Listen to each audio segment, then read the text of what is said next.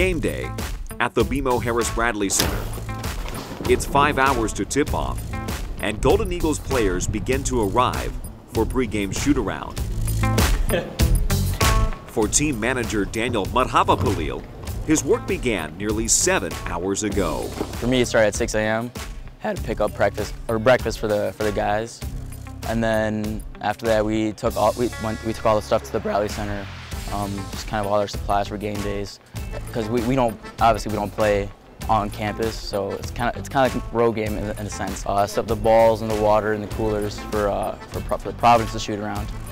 After that, kind of uh, just went to class, came back, and then came over here, kind of set up for our shoot around.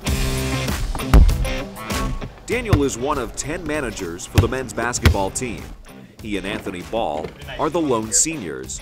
We don't really have a set routine or a set schedule with anything we do here. Um, there are things that we do in sort of a more regimented fashion, but a lot of what we do is if a coach needs something, if a player or administrator or anyone needs anything, um, we're just here to help make sure that everything goes smoothly. There's a long list of things to get ready on game day, and each manager has responsibilities. So during shoot around, we'll just kind of make sure that, that everything's where, where, where it needs to be as far as do the coaches and players have the balls for, for drills. Where we kind of show up is kind of after, after shoot around as well and the guys work out and get extra work in so they can get ready for the game. After shoot around and after the guys get their extra shots in, they'll go in for, the, for a pregame meal, which is typically four hours before the game. And then after that, uh, two of the managers will take the players back to their dorms um, so they can relax a little bit. And then, and then we'll go into the locker room, set up jerseys, warm-ups, uh, shoes, and all that stuff. And after that, we'll set up the, uh, the bench with the, with the boards, towels, water, um, as well as the timeout chairs. Once the locker room is cleaned up and uniforms prepped for the team, the managers switch from pregame to game mode. One, two, three, They're on the floor rebounding and shagging balls for warm-ups. When the game starts, some of them are at the Al McGuire Center. Others record video feeds in the arena. Hey! Daniel and Anthony squeeze onto the Marquette bench. During the game, I, uh, I sit on the bench with uh, some of the other managers, and during media timeouts, I run to the scoring table, and I make sure that we have the same amount, or the right amount of subs in the other team, so that during the media timeout, our coaches can go over lineups um, and matchups.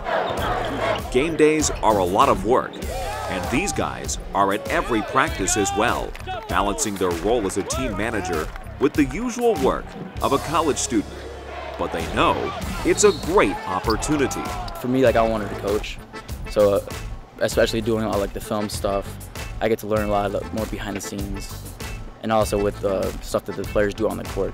So I'll, I mean, players trust me a lot where they they trust me to put them through workouts and drills, especially at night. And I mean, it's, it's a good opportunity for me to learn and for the players to get better. Love basketball my whole life. My uh, dad was a high school coach back in Indiana for girls basketball. And uh, I figured, you know, a good way to stay active would be managing in college. My freshman years kind of worked my way into it. Uh, there was a trial period. And then as you got older, you start getting more responsibilities and uh, getting to work in practice and then traveling and game day. So it's fun. It's a family in a sense. I mean, to be honest. Like you're, you're with them more than your family, your friends. Um, you're, you're living at the Al McGuire Center basically.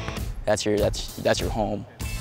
Um, and then it's just, it's, it's an honor, it's special to be part of something that's bigger than yourself. I mean, when you, when you can say that, that's, you know, you know it's special. So that's kind of why we do it. Um, we do it, I mean, because, you know, we love the game, we love helping people, we love to learn.